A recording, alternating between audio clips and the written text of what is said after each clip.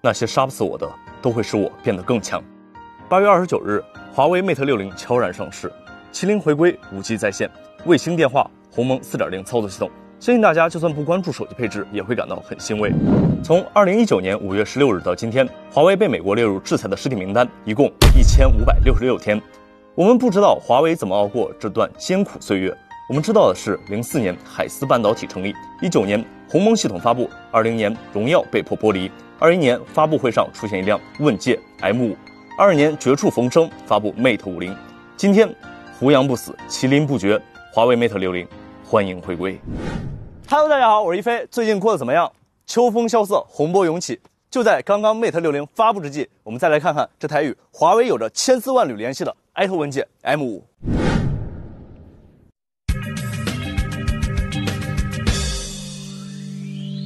车机对于一款车真的有那么重要吗？当年很多人可是奔着这款车机才下了订单呀。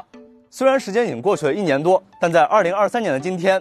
问界 M5 的鸿蒙车机是否还能扛打？再来看看。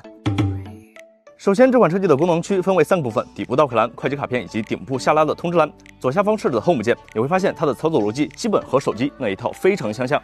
不同于别家的车机主界面，很多厂商更多考虑的用车方便，将导航作为界面的主背景，而鸿蒙车机则是选择了壁纸背景。除了原厂提供了多款精美壁纸外，还可以自行设定。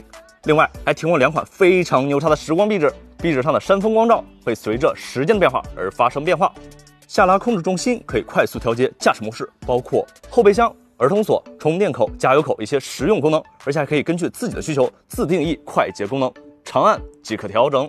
整个 UI 的细节做得非常到位，各类相应的小动画应有尽有。另外就是它的底部倒扣栏做的很简洁，基本上只有六个功能。快捷功能显示主要还是集中在这一排快捷卡片上，很清晰，很直给。话说，这不就是阉割版的华为平板吗？再加上这，这，还说不是华为汽车？小易，小易，我在。关闭车窗，打开座椅通风，打开座椅按摩，播放音乐，导航去上海中心。好的，为你搞定了。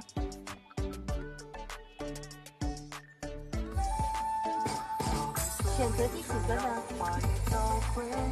遥遥领先，遥遥领先。不仅可以自定义唤醒词，而且还可以方言下达操作指令。对呀对，在呢。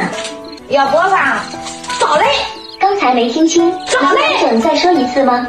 早嘞。惊雷震中天，震破天大地，震惊惊雷。对，不对不对不对。当然不是小度啦，小易小易。主驾你好。我有点冷噻。帮你把空调温度调高了。一路在保持领先的地位啊，遥遥领先于同行。我们还可以设置成小一免唤醒，有那么一刻，我突然觉得比我的 Siri 还要高端些。今天天气怎么样？嘉定区今天小雨转晴，现在小雨，出门要带伞哦。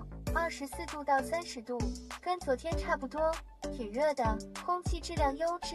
我们继续领先。除此之外，全程流畅沟通，可见即可读，凡是界面上显示的功能都可以通过小易来进行操作，而且秒懂秒执行，就差心有灵犀了。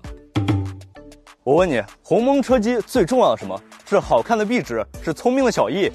不不不，如果你恰好还是一位华为手机用户，那么一定要看。什么超级桌面，什么无缝流转，什么 PC 双屏协同，你通通都可以尊享。华为将鸿蒙在车机系统上全部打通了。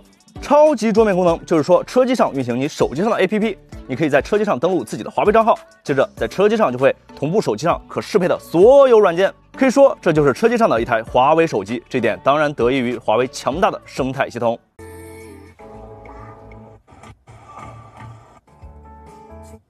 哎不不不，这不是我账号，这不是我账号。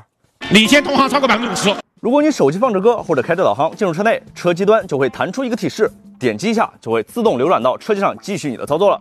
当我们进入车内时，就不用再去找线去连接车机，整个过程非常的平常，就像我们吃饭顺手拿筷子一样的平常。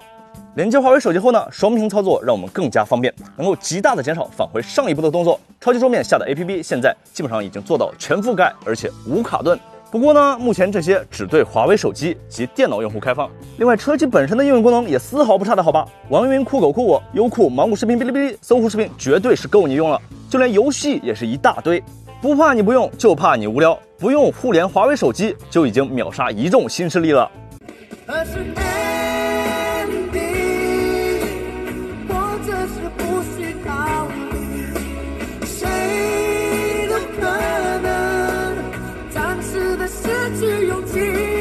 这次我是绝对听出来好赖了，华为音响绝对很华为。嗯，华为音响绝对很华为。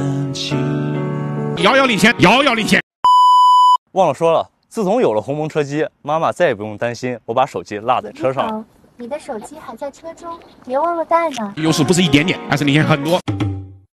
传统车机就是一块大屏，包括导航、音乐、最调节等技术功能，但华为这次转变逻辑，它无限接近于手机的使用模式，操作起来零成本的，好吧？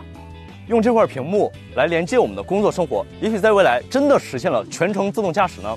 我们的汽车又何必只是一辆汽车呢？华为给到我们的就是一套生态系统，给到我们的就是未来无限的可能。也难怪小米开始造汽车，未来也开始造手机了。未来绝对是智能设备连接一切，当然也包括汽车。未来的汽车绝不仅仅是四个轮子加一个平板电脑了。鸿蒙承载的绝不仅仅是手机、平板、车机、智能家电这些，它承载的是我们自己的坚韧与不屈。如今智能汽车我们已经排在世界的前列，我们要掌握话语权，我们更要拿到头等舱的入场券。不管怎么说，我们所期待的那一天终于来了。就算跌到谷底，也可以绝地反击。寒冬终会过去，黑夜之后，太阳照常升起。